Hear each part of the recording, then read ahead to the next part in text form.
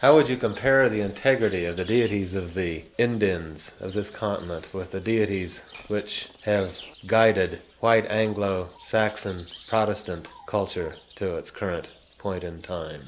How would you compare the integrities of those pantheons? Oh, like many other people, I think I would regard the invention of monotheism, an otherworldly God, as a great setback for human life. Maybe worse than the invention of agriculture.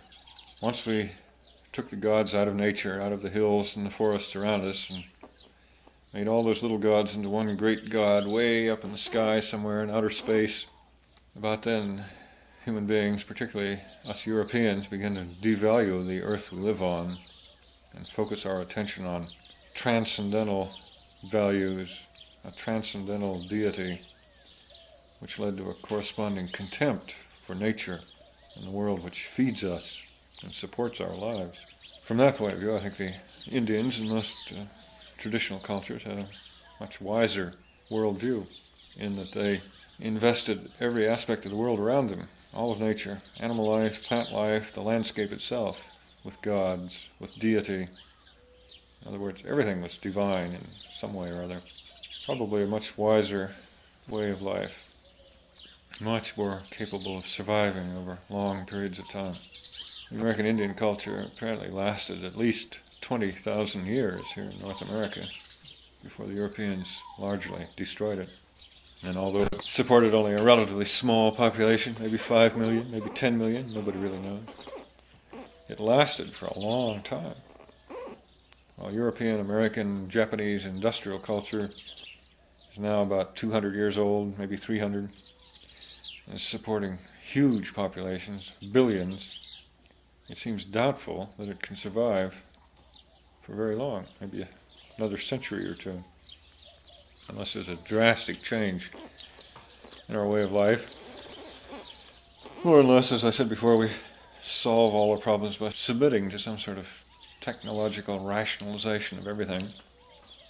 Probably includes the expansion of the industrial system onto the moon and the rest of the galaxy and God knows where. No wonder all the bodies in the heavenly universe seem to be flying away from planet Earth, according to some astronomers. They're trying to flee this plague of domination and greed, which is also, to some extent, the glory of our race. I admire the adventure of it all. I'm in favor of space exploration, for example. I admire science and scientists insofar as the purpose of it is to advance knowledge, to learn about the world we live in. If somehow we could keep our knowledge separated from our itch to dominate and tyrannize and enslave, I think science would be almost entirely a good thing. But instead, science has been largely misapplied for war and industrialism, and thus has probably done far more harm than good so far. But I respect and admire the intellectual adventure of science. And I think that is one of the great achievements of European American humankind. Where were we? what were we talking about?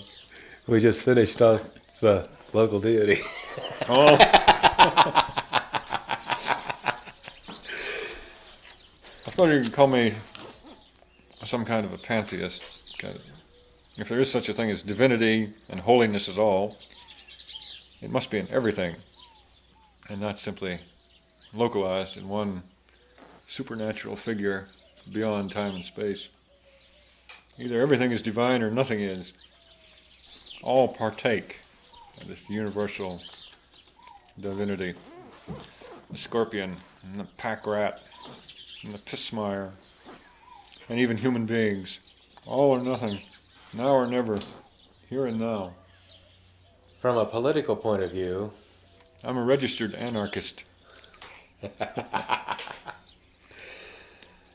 How long have you been a registered anarchist?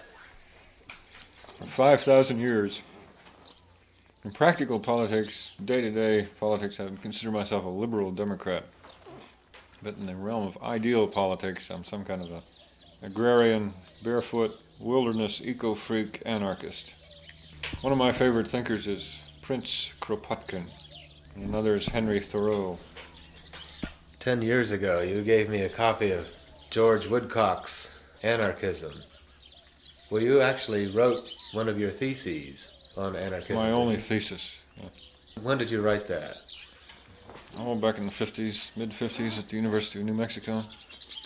After I flunked out of Edinburgh in Scotland and got kicked out of Yale after two weeks, crawled back to New Mexico and very humbly wrote a little master's thesis for the philosophy department there, which uh, started out as an ambitious project. It was going to be a general theory of anarchism. The thesis committee and the professors soon condensed it to a tiny little historical study of a few 19th century anarchist writers like Proudhon, Kropotkin, Bakunin. So it ended up being, like most master's theses, being nothing but a little monograph on a very limited subject, namely the ethics and morality of violence as a political method. Everything phrased in quite a circumspect manner, bristling with footnotes, half of it consisting of bibliography, notes. Thus I became a Master of Arts, a degree which means absolutely nothing.